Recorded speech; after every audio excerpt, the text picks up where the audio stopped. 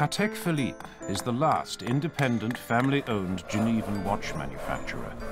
Its name is composed of the names of the two founders, Antoine Norbert de Patek and Adrien Philippe. And this is their story.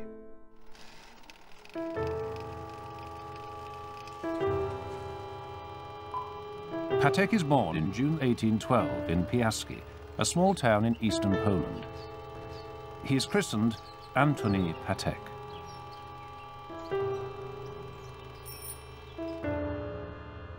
In 1828, just before his 16th birthday, he enlists with the Polish cavalry. He is assigned to the 1st Mounted Rifles Regiment in Warsaw. On January the 25th, 1831, the Sejm deposes Nicholas I and declares Poland's independence. Patek is promoted to sub-lieutenant of the cavalry brigade. Patek is one of more than 10,000 insurgents and many patriots who choose exile. It is the great emigration towards the west, especially into France. Fleeing through the German states, the Polish exiles are supported by refugee committees. In 1832, Patek is in charge of one of these committees in Bamberg. Patek follows the exodus into France. He takes up residence in Cahors and later in Amiens, where he works as a typographer. Quite likely he lives in Paris as well. In 1833, Patek travels to Switzerland. He officially registers in Versoix in 1835. In 1839, Patek establishes the Patek Czapek manufacture on Quai des Bergues 15 as a three-person partnership limited in duration to six years. Also in 1839, Patek weds the niece of Moreau. He is naturalized in Geneva and becomes a citizen of Versoix in 1843. Philippe is born on April 16, 1815, in La Bazoche-Gouet, in the department Eure-et-Loir. He notes, a town with 2,400 souls, of whom at least half live in the countryside within a radius of an hour on foot. The father, Monsieur Philippe, a trained and skilled watchmaker, teaches his son the elements on which a sound professional education is based. After completion of his apprenticeship, Philippe asks his father for permission to embark on a Tour de France to improve his occupational outlook. Aged 18 and a half, Philippe leaves his family. Nothing is known about the duration and stations of Philippe's journeyman years, except that he never arrives at Besançon, his original destination, and instead stays in Le Havre for three years. Destiny lures Philippe abroad for the first time in 1836. He accepts a job in London. Endowed with experience, Philippe returns to France in 1839 and settles in Versailles together with a young Swiss with whom he had previously worked in London. The demand for high-quality timepieces is disappointing. Sluggish business encourages Philippe's quest for a truly innovative idea. A royal court watchmaker suggests it would be good to develop a watch without a winding key. That would be a ray of hope. Philippe starts working on the project right away and soon invents a simple and reliable mechanism for which he submits a patent application. In 1844, he presents his winding system at the Paris Industrial Exposition, but it doesn't achieve the breakthrough he had hoped for. In 1863, he publishes his main treatise, Watches with Keyless Works. In 1839, Patek partners with watchmaker Francois Czapek for six years. Apparently, this joint venture doesn't fulfill Patek's ambitious expectations. His encounter with Philippe coincides with the point in time when the partnership is to be renewed or terminated. In 1844, Patek aims to recruit a good watchmaker. He travels to Paris and learns about Philippe's invention at the French Industrial Exposition. Patek invites Philippe to Geneva as a replacement for Czapek. This is the letter that Philippe receives in Paris on April the 9th, 1845. Monsieur, you no doubt received my letter yesterday.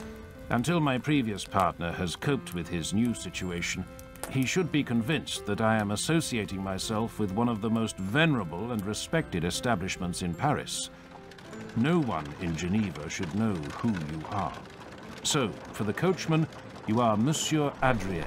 Disembark at the gates of Geneva and enter the city through the main gate or across the small suspension bridge. Do not pretend to be a voyager.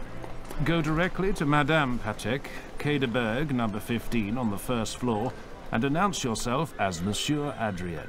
Until then, stay in good health, come quickly. I shake your hand. Signed, Patek.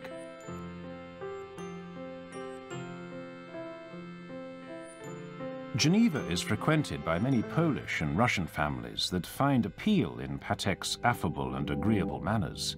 Philippe is in charge of provisioning the watches that have been ordered, the completion of all watches in the production phase, the creation of new timepiece types, and the pursuit of his invention, the keyless winding works.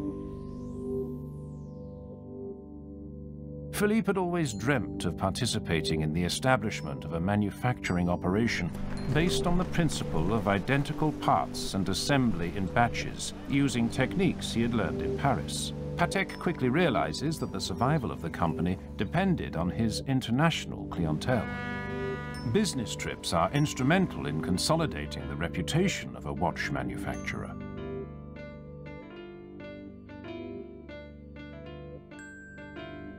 In 1851, Patek and Philippe go to London separately to attend the great exhibition of the works of industry of all nations. At the event, Queen Victoria purchases two watches, one for herself and one for Albert.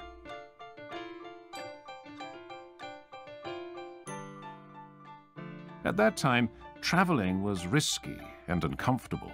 The tribulations of travel are beginning. I should be in London already, but have heard that the vessel was requisitioned by the British government. Instead of 10 days, we were en route for 14 days, and the weather was terrible. I suffered. For the first time in years, I was starving because we were held up in the midst of a forest by the derailed locomotive of an oncoming train. This trip would enable him to increase the number of commissions. He returns home with a reassuring order from Tiffany for 130 watches. Patek arrives in Geneva afflicted with rheumatism in all extremities.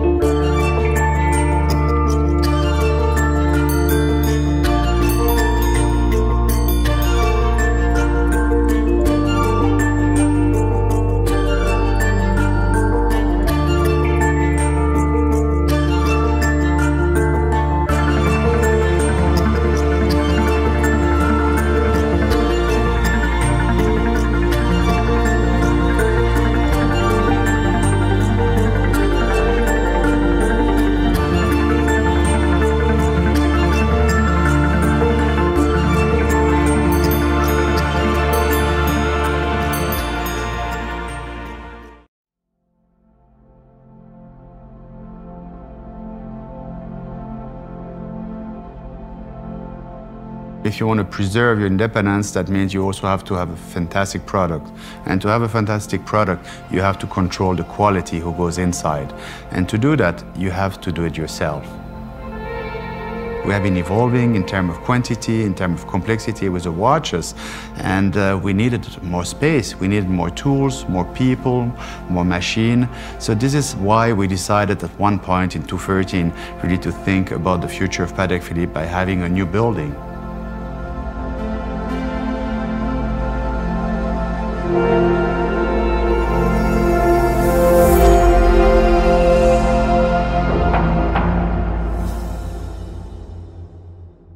You know, at the time, I think it was still the vision of my dad. He's the, the most, uh, I would say, professional one. He has also the, the, the, the, knowledge about all the past, but also the vision of the future. I was also there, of course, for helping him and thinking about the future, because this will be my future at one point. The idea was to have everything under one roof in one place. So Plan-les-Ouates is our headquarters, so it was quite logical for us also to be still in Plan-les-Ouates with the new building. How can this building help us really to produce something from A to Z without any trouble? How can we make a watch in a perfect way?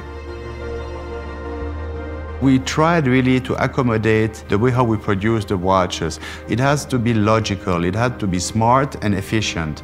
So if you look at all the building, you will see that every floor has a different task.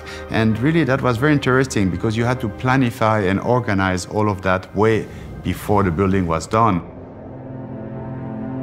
all the, for example, all the, the electrical part or all the elevator are on the side. And in the middle, you have this huge floor for 1,600 square meter. We have five floor like that. So that's really very big when you think about it.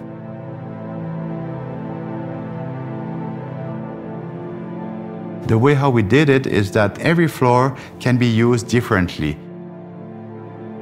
It looks very strict, but it's also on the other side very supple. We can move whatever we like at any time. That's very important because you do not know how you're going to work in the future.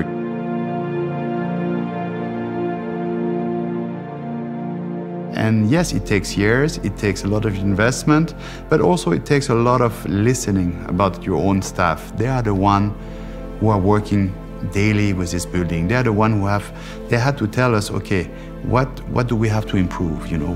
What, what is your dream building?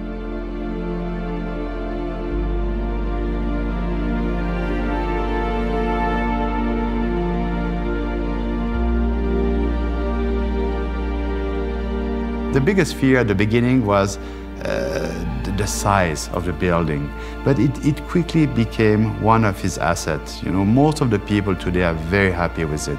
I mean, the one who are maybe less happy are the one who have to walk the whole building because they have uh, about 190 meter to walk from one side to the other one. And yes, it takes some time, some, but on the other side, you know, it's a luxury that we can have at Patek is to really prepare the future with this type of building and make everybody happy.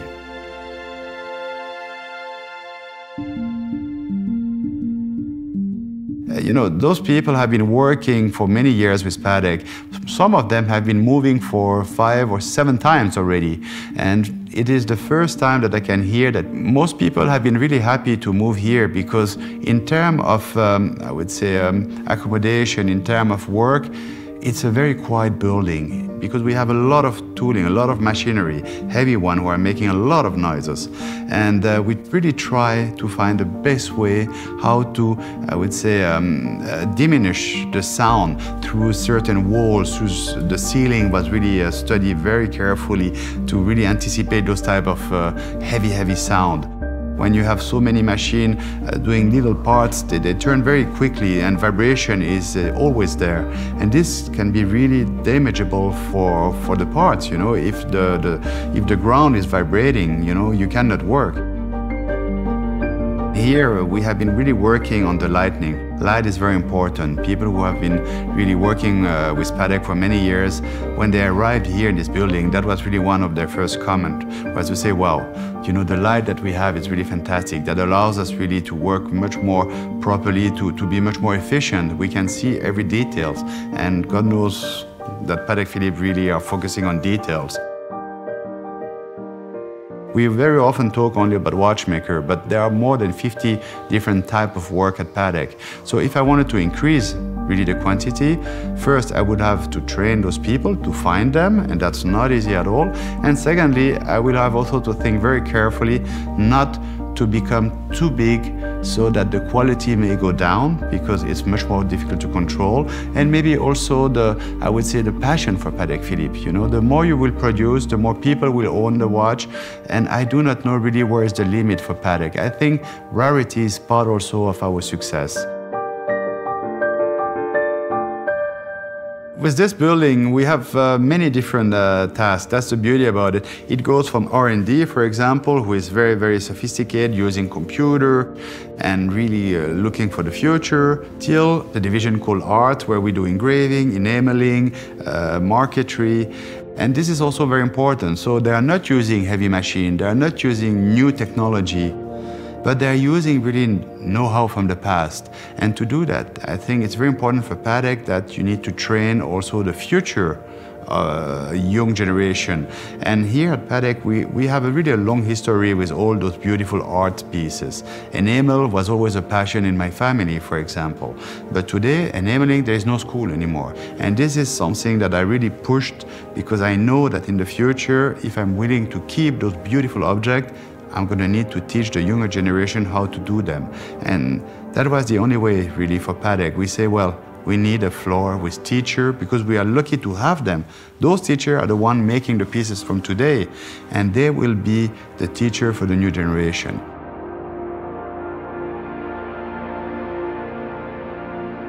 Of course, as a family business, you have to think about the next generation. On the other side, you also have to be vigilant, you know. It's very dangerous also to push uh, the, the, the, kids if they are too young. So yes, I'm thinking about the future for Patek Philippe. I hope it will be also with my kids, but